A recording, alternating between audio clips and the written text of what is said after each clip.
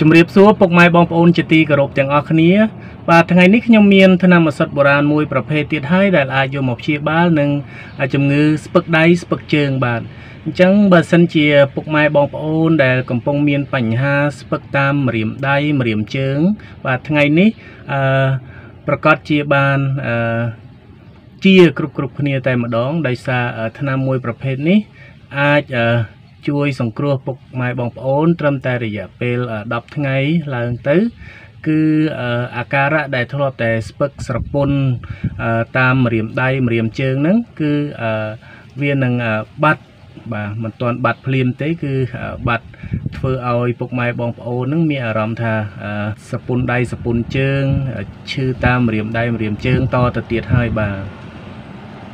បាទតកតងនឹងឆ្នាំអឺ នេះផងដែរពុកម៉ែប្រកាសជាស្គាល់ហើយបាទ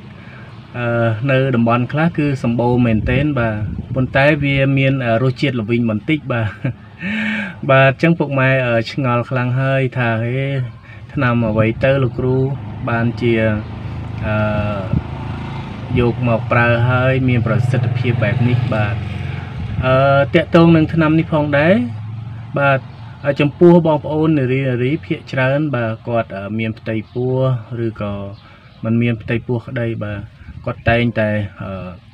រមួលក្រពើណាបាទឬមួយក៏ក្តាមកាច់ដៃកាច់ជើងហ្នឹងអានឹងហើយបាទឆ្នាំនេះក៏ក៏ក៏អាចព្យាបាលបានដែរបាទអញ្ចឹងអត្ថប្រយោជន៍របស់អឺឆ្នាំនេះអាចប្រើបានសូម្បីតែទឹកនោមផ្អែមហ្នឹងក៏អាចព្យាបាលបានផងដែរបាទ បាទដើមប្រភេទនេះអាចព្យាបាលជំងឺជាច្រើន បាទមិនត្រឹមតែជំងឺស្ពឹកដៃស្ពឹកជើង តែប៉ុណ្ណោះទេសូម្បីតែជំងឺទឹកនោមផ្អែមក៏អាចព្យាបាលបានផងដែរបាទហើយដូចវីដេអូអឺមុនមុនចឹងដែលខ្ញុំបានប្រាប់ពុកម៉ែបងប្អូនតាក់ទងនឹងរោគទឹកនោមផ្អែម ពុកម៉ែបងប្អូន ប្រកាសជាដឹងខ្លះហើយមែនទេបាទបើសិនជាពុកម៉ែបានមើលវីដេអូរបស់ខ្ញុំប្រកាសជាចាំបានហើយថា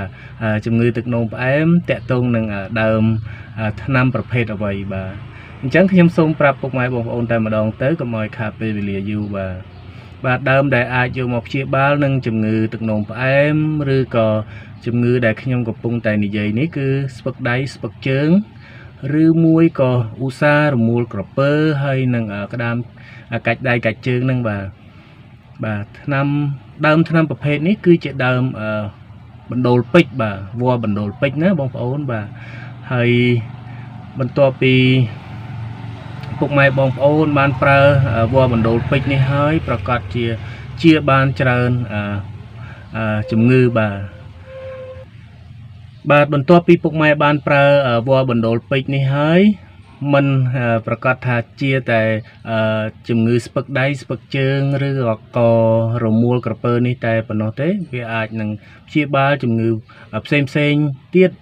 នៅក្នុងខ្លួនប្រាណរបស់ពុកម៉ែបានថែមទៀតណាបាទបាទអញ្ចឹង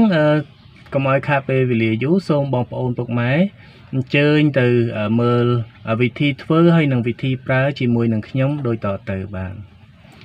បាទពុកម៉ែបងប្អូនទាំងអស់គ្នាដំបូងយើងយកដើមបណ្ដូលពេជ្រនេះមកបាទសូមបញ្ជាក់ដែរយើងយកតែដើមស្រស់ស្រស់ទេបាទប្រើស្រស់ស្រស់ណាយើងមិនយកដើមក្រៀមដើមស្ងួតអីទេបាទបាទបន្ទាប់ពីពុកម៉ែបានដើមបណ្ដូលពេជ្រមកយើងហាន់វាជាកង់ជាកង់បាទខ្លីៗបានហើយ មិនដល់មួយថ្នាំងដៃផងបាទប្រហែលជា5ទៅ6ចំណិតតែប៉ុណ្ណោះបាទបន្ទាប់មកពុកម៉ែយកមកដាក់ក្នុងកែវហើយយើងអឺប្រើជាមួយនឹងទឹកសូដាបាទអញ្ចឹងយើងចាក់ទឹកសូដាចូលទៅបាទមិនបាច់ពេញពេញកែវពេកទេល្មមដែលយើងគិតថាអាចផឹកទៅអស់ណាបាទ កុំ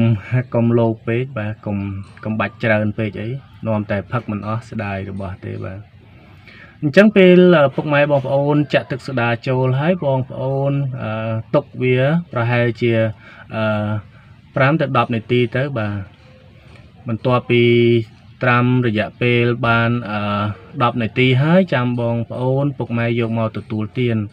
បាទអញ្ចឹងការទទួលទាននេះយើងទទួលទានក្នុងមួយថ្ងៃ2ដង ព្រឹកមួយដងហើយល្ងាចមួយដងអញ្ចឹងពេលព្រឹកมันបាច់កំណត់ថា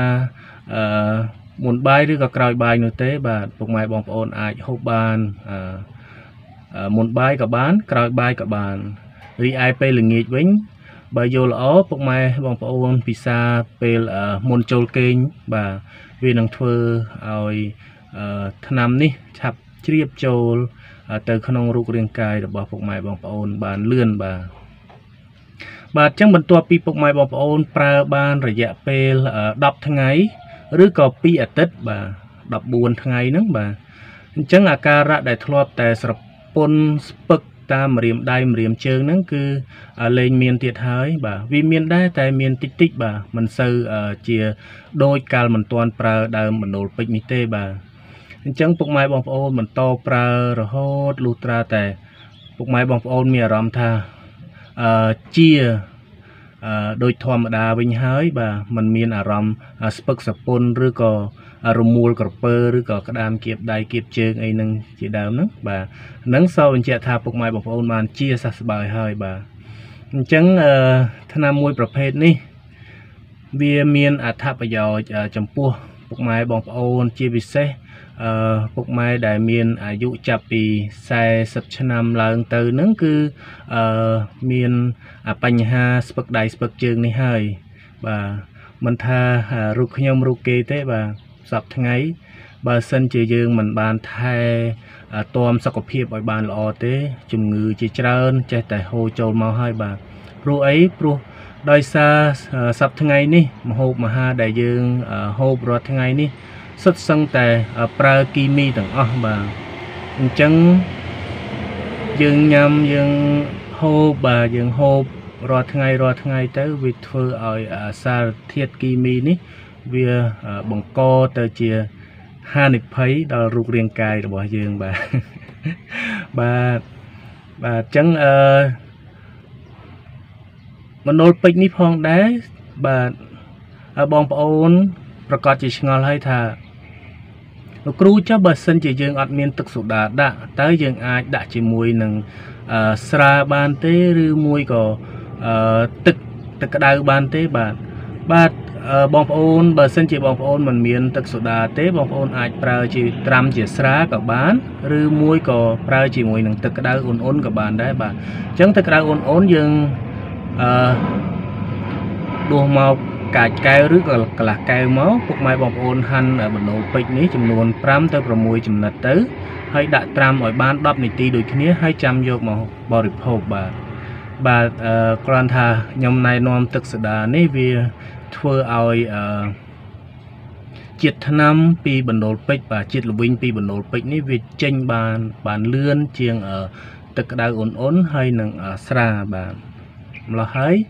ពុកម៉ែបងប្អូនហូបទៅវាមានសារធាតុថ្នាំហ្នឹងក្នុងខ្លួនច្រើនតែប៉ុណ្្នឹងទេ ហើយសូមបញ្ជាក់ផងដែរបងប្អូនពុកម៉ែទាំងអស់គ្នា ប្រើថ្នាំកុំលោភលន់ឲ្យសោះបាទបើសិនជាលោកគ្រូណែនាំថាកន្លះកែវឬក៏កាយកែវមួយថ្ងៃ2ដងអីសូមធ្វើតាមលោកគ្រូទៅវានឹងបានទទួលលទ្ធផលល្អបាទតែបើសិនជាពុកម៉ែបងប្អូន អឺចង់ជាបាទខ្ញុំយល់អារម្មណ៍មួយនេះបាទធម្មតាអ្នកជំងឺតាឈឺអីហើយចង់ឲ្យជាឆាប់ឆាប់បាទហូបច្រើនច្រើនទៅឆាប់ជាប៉ុន្តែវាផ្ទុយស្រឡះទៅវិញទេ បាទมันមានប្រសិទ្ធភាពអីទេ បែរជាធ្វើឲ្យពុកម៉ែបងប្អូនហ្នឹងកាន់តែឈឺរឹតតែខ្លាំងថែមទៅទៀតបាទបាទ អញ្ចឹងនេះគឺជាការណែនាំរបស់ខ្ញុំទេព្រោះអីបងប្អូនពុកម៉ែមួយចំនួនគាត់តែងតែខលមកប្រាប់ខ្ញុំថាលោកគ្រូអើយខ្ញុំហូបអស់មួយឆ្នាំពីរឆ្នាំហើយនេះតែអត់ឃើញគុណភាពលទ្ធផលអីសោះបាទនៅតែដដែលបានអីមានលទ្ធផលបានអីមានគុណភាពបើសិនជាពុកម៉ែបងប្អូនអឺពួយទាំងឆ្នាំងទាំងឆ្នាំងមួយថ្ងៃសិតអស់មួយឆ្នាំង ហើយខ្ញុំប្រាប់ថាមួយម្ដង1លីត្រហ្នឹងអឺហូបអឺធ្វើម្ដង1លីត្រឬក៏1លីត្រកន្លះចឹងពុកម៉ែបងប្អូនប្រើហួសកម្រិតបាទអឺហូបមួយថ្ងៃអឺមួយដងមួយកែវចឹងពុកម៉ែបងប្អូនអឺហូបដល់តែ2កែវ3កែវនោះបាទបានអីជាបាទបាទអរគុណច្រើនពុកម៉ែបងប្អូនបាទអញ្ចឹងថ្ងៃនេះខ្ញុំមានតែប៉ុណ្្នឹងទេ ដែលយកមកចែកជូនពុកម៉ែបងប្អូនតកតងនឹងបញ្ហាស្ពឹកតាមម្រាមដៃម្រាមជើង បាទឬមួយក៏ឧស្សាហ៍រមួលក្រពើអីជាដើមហ្នឹងបាទហើយជាពិសេសបងប្អូនខ្លះក៏ជាប់ម្រាមដៃម្រាមជើងណាបាទហ្នឹងគេហៅថាក្តាមគៀបណោះបាទជាពិសេសបងប្អូនពុកម៉ែចាស់ចាស់បាទតែគាត់មានអាយុកាន់តែច្រើន បញ្ហាតសៃតសងរបស់គាត់ហ្នឹងអឺកាន់តែ ពិបាកទៅពិបាកទៅធ្វើឲ្យឈាមបាទរត់មិនសូវបានស្រួលទេបាទបាទអញ្ចឹងបើសិនជាបងប្អូនពុកម៉ែដែលកំពុងទស្សនាវីដេអូរបស់ខ្ញុំហើយមានចម្ងល់ឬក៏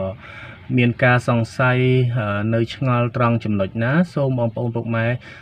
ជួយ comment ប្រាប់មកខ្ញុំបាទខ្ញុំបាទនឹងតបបាទអឺសំណួរនេះជូនពុកម៉ែបងប្អូនវិញណា បើសិនជាពុកម៉ែមិនចេះ comment ទេអាច call មកលេខទូរស័ព្ទរបស់ខ្ញុំបាន តាមរយៈលេខ smart 096565កូដ264បាទ